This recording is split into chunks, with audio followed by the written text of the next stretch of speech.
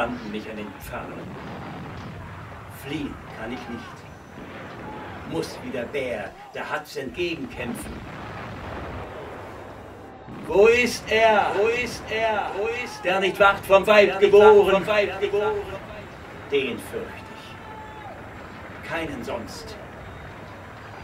Warum sollt ich den römischen Narren spielen? Sterben durchs eigene Schwert? Solange Lebende noch vor mir sind, stehen denen Wunden besser. Zu mir, du Höllenhund, zu mir! Von allen Menschen mied ich dich allein. Aber zieh dich nur zurück. Mit Blut der Deinen ist meine Seele schon zu sehr beladen. Ich habe keine Worte.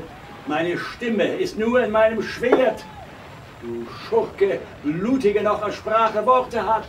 Mein Leben ist gefeit, das keinem unterliegen soll, den ein Weib geboren. So verzweifle an deinem Zauber und sage dir der Teufel, dem du von je gedient, dass vor der Zeit Macduff geschnitten ward aus Mutterleib. Verflucht die Zunge, die mir dies verkündet, denn meine beste Mannheit schlägt sie nieder.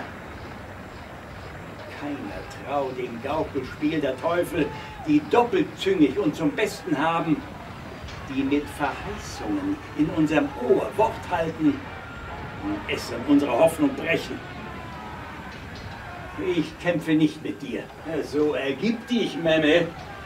Wir wollen dich als seltenes Ungeheuer im Bild auf Stangen führen mit der Schrift Hier zeigt man den Tyrannen.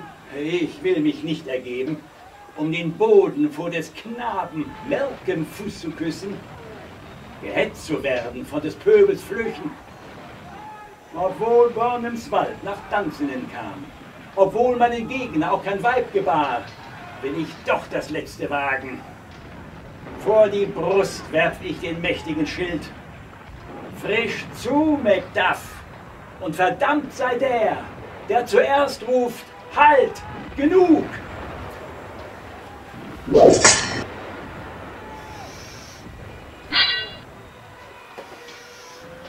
Heil,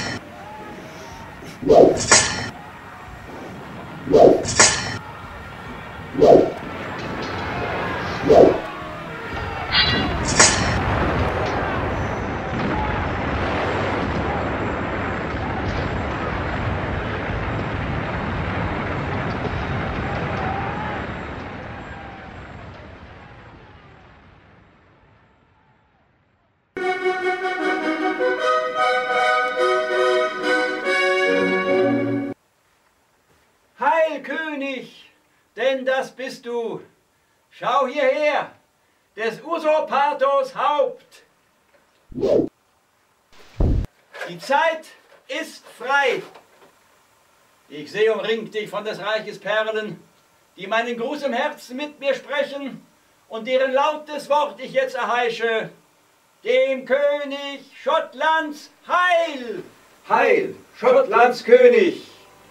Tanz und Vettern.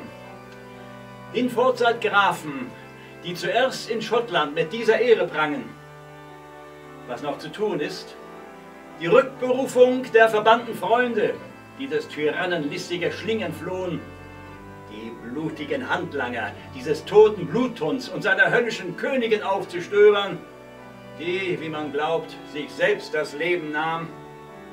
Euch allen und jedem Dank und Lohne. Und jetzt zur Krönung lade ich euch nach Skone,